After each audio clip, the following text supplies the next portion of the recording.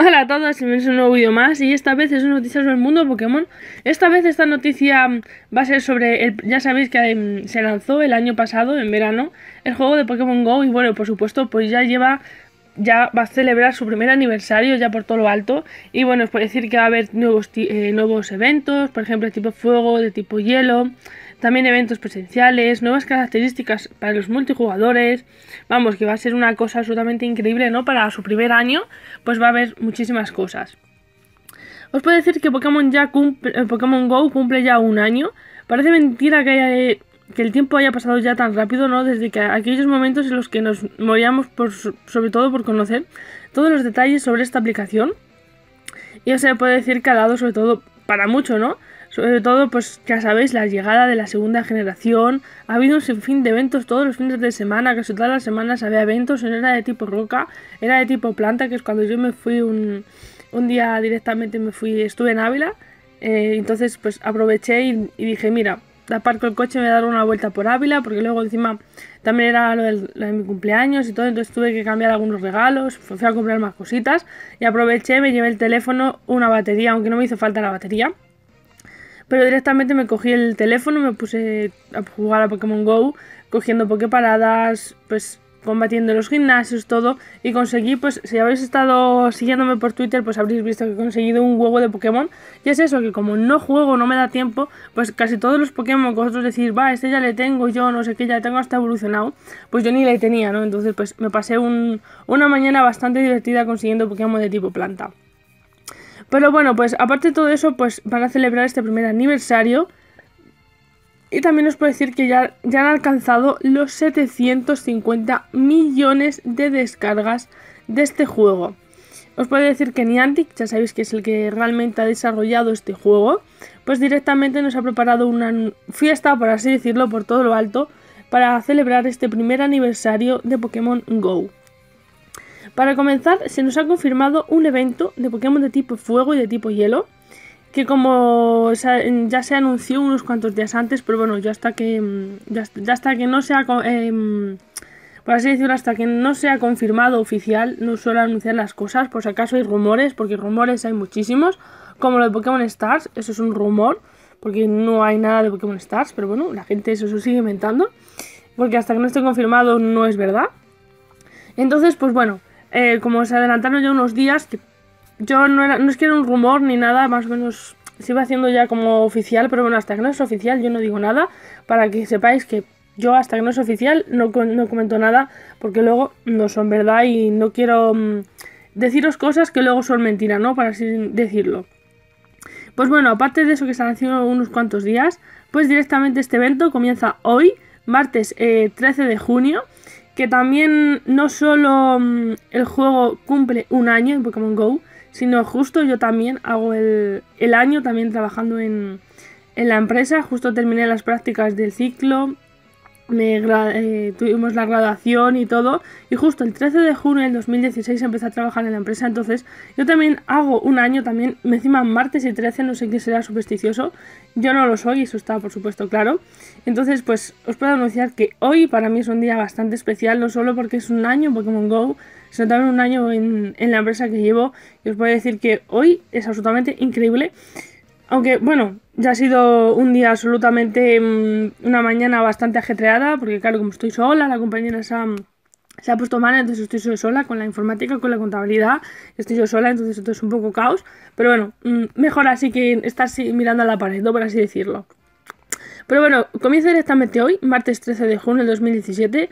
Además, también aumentan las apariciones de Pokémon como Charmander, Cyndaquil, Growly, uh, me encanta, Hondor, Bonita, eh, ¿Cómo se llamaba el chiquitín este que evoluciona Pylos? One.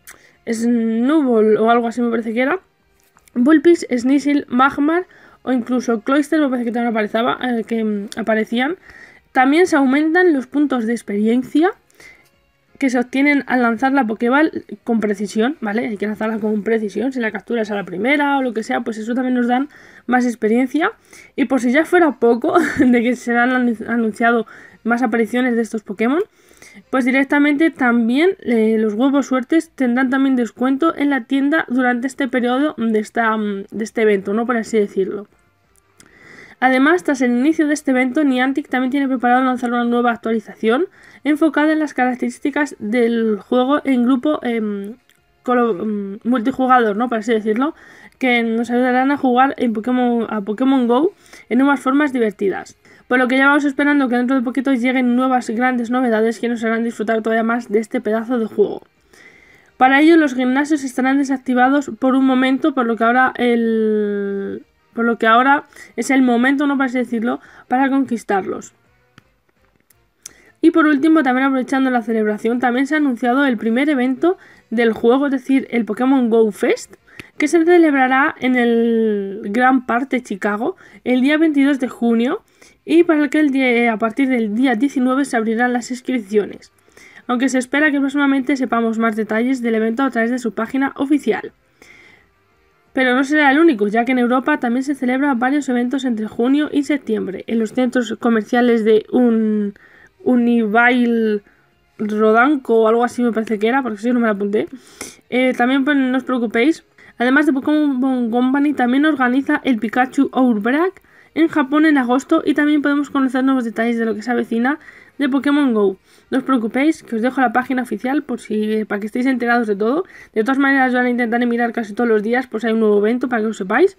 Así que no os preocupéis, que tiene pinta que este año va a ser otra vez el año de Pokémon Go, por así decirlo, porque nos volverá a engancharnos todavía con muchas más novedades, ¿no? Eh, es verdad que realmente el juego de Pokémon, para hacer un juego de Pokémon, para solo para la 3DS, lleva su tiempo. Eh, hay muchísimos Pokémon Mm, hay muchísimo. Los eh, tienen que hacer los modelos en 3D, en movimiento, que sea más o menos en las ciudades todo, que coge pues el GPS y todo. Entonces no es nada fácil hacerlo. Incluso solo para poner un Charizard en una Poképarada o al lado de, de un centro comercial, ya cuesta lo suyo hacerlo solo y ponerle ahí. Entonces no es nada fácil. Sé que muchos de mm, los que estaréis viendo este vídeo a lo mejor no lo vais ni a jugar o ya habéis dejado de jugar a Pokémon Go o incluso el que no lo vaya a ver, pues habrá dicho, ya no me gusta Pokémon Go, pero realmente es un juego que salió, la gente esperaba mucho de él, pero es que realmente el juego acaba de salir, salió hace un año, sigue en su fase beta porque se sigue probando el juego, se sigue mejorando y no porque se lance un juego directamente ya tiene que tener todos los extras, porque realmente los, los desarrolladores tienen que ver cómo se va avanzando el juego, seguir probándolo y seguir mejorándolo. Entonces hay mucha gente que directamente dice, Buah, en dos meses no han metido más Pokémon, no han hecho nada más, solo están haciendo actualizaciones tontas. Pero esas actualizaciones tontas, aunque no lo creáis, son bastante importantes solo para intentar que los Pokémon salgan bien, que no salgan mezclados unos con otros, que muchas veces lo vemos en Twitter o en Facebook, que se mezclan los Pokémon y parecen que están disfrazados. Pero todo eso también es que lleva muchísimo trabajo, entonces Sé que muchos de vosotros, yo por ejemplo, yo ya quiero Pokémon legendarios, quiero combates con otros jugadores, aunque sea en modo local, no en internet. Pero es que son muchas cosas las que hay que tener en el juego y no es nada fácil insertarlos en un teléfono móvil. Que es que es un teléfono móvil, ¿vale? No es un juego como la consola Nintendo 3DS que se puede hacer más cosas, sino que es que es un teléfono móvil y no es nada fácil, ¿no? Os lo digo por experiencia porque sé que todo esto va por programación y no es nada fácil y que por una cosita que pongas mal pues la puedes liar bastante gorda.